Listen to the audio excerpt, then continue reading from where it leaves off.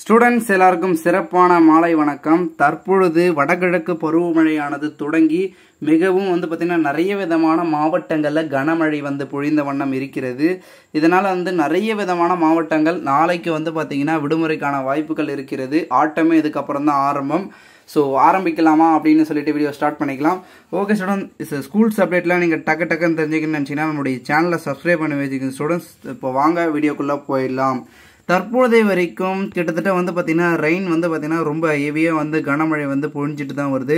கிட்டத்தட்ட பதினெட்டு மாவட்டங்களில் மேலே வந்து கனமழை இருக்கிறது. தற்பொழுதைய வரைக்கும் வந்து பார்த்திங்கன்னா தமிழகத்தில் கிட்டத்தட்ட இந்த ஏ- அஞ்சு மணிலேருந்து ஸ்டார்ட் ஆகி ஒரு சில இடங்கள்லாம் ஆறு மணி ஏழு மணிலேருந்து ஸ்டார்ட் ஆகி அப்படியே வந்து மழையின் தாக்கம் சற்று வேகமாகவே வந்து பார்த்திங்கன்னா பொழிஞ்சிட்டு இருக்கு.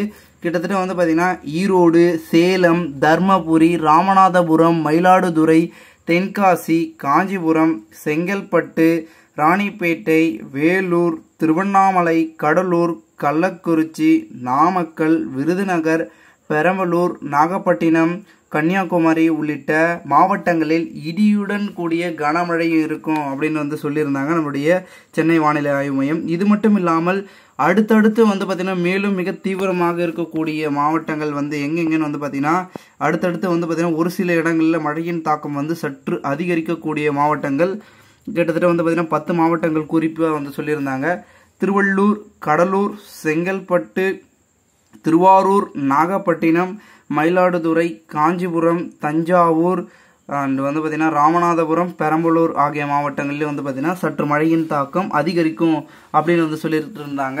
ஸோ நான் சொன்ன மாவட்டங்கள்லாம் கண்டிப்பாக வந்து நாளை விடுமுறை வருவதற்கான வாய்ப்புகள் இருக்கிறது.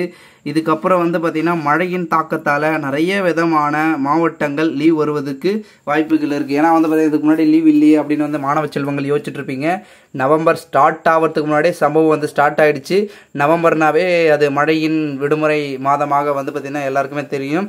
ஸோ இதுக்கப்புறம் வந்து பார்த்திங்கன்னா நிறைய விதமான கனமழைக்காக வந்து பார்த்திங்கன்னா விடுமுறை வருவதற்கான சான்சஸ் இருக்குது ஸோ வெயிட் பண்ணுங்கள் கண்டிப்பாக வந்து அடுத்தடுத்து வந்து லீவ் அனௌன்ஸ்மெண்ட் வந்துட்டே இருக்கும். அதை நம்மளுடைய சேனலில் அப்டேட் டக்கு டக்குன்னு பண்ணிகிட்டே இருப்போம்.